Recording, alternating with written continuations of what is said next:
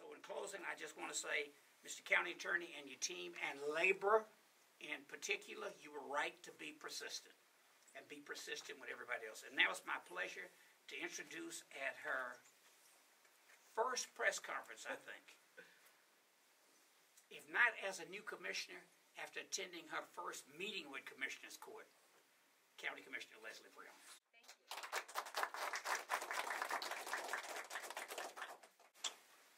Well, thank you to everyone who is here today. Thank you to my colleague, Commissioner Ellis, for championing workers' rights for decades. Thank you to our county attorney, Christian Menefee, and all of his team who have worked tirelessly for years. Thank you, Neil, for everything you and your team have done to make this happen.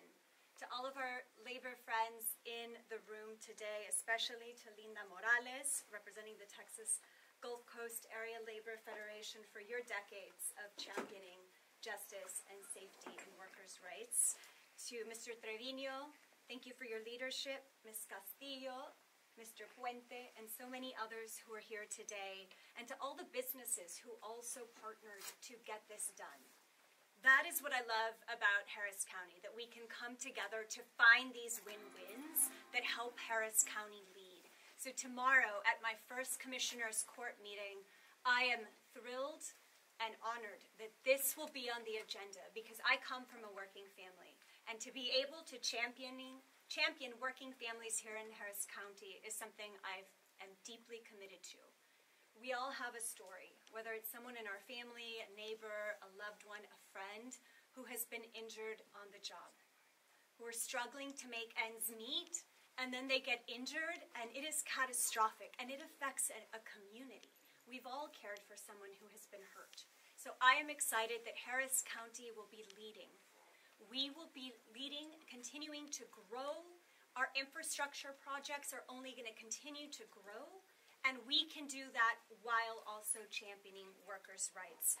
Because to protect the health and safety of our workers is non-negotiable here in Harris County. It's unacceptable that more than 3 million each year suffer serious injury or illness on the job. It is unacceptable that 5,000 working people are killed on the job every year. These are national numbers. But in Harris County, we're going to be leading to make sure that our workplaces are healthier and safer for all. And we will be prioritizing the dignity and rights of every worker. And this is also pro-business know that when workers are kept safe, we have higher productivity. 99 million days were lost due to worker-related injuries, and the total cost of work injuries was nearly $164 billion in lost wages and productivity losses. So this is a win-win for workers in Harris County and for businesses in Harris County. And I am proud that everyone in this room and so many others have been championing this for years, and I'm happy to now be at the table tomorrow to be a small part of it. As we continue to grow in this county, I want us all to continue leading and finding these win-wins for our community. And I look forward to working together for many years to come so that Harris County is leading not only in Texas, but nationally and globally. So I look forward to being there tomorrow at Commissioner's Court meeting to cast my vote for this critical contractor safety policy.